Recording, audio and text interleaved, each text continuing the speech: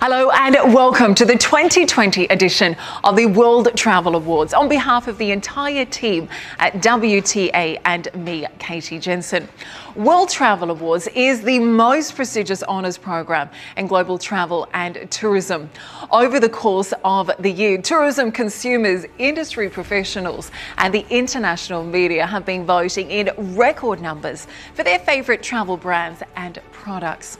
As we look ahead to a brighter future where global travel and tourism once again takes centre stage, winning a World Travel Award this year has become more important than ever before.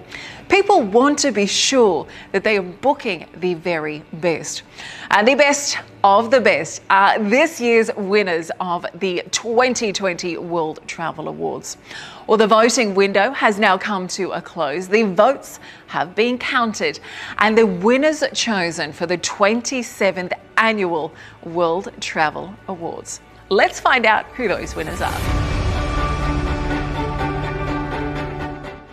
Our next award is for Thailand's leading travel management company.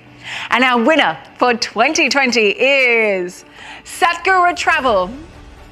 Good evening and best wishes, everyone.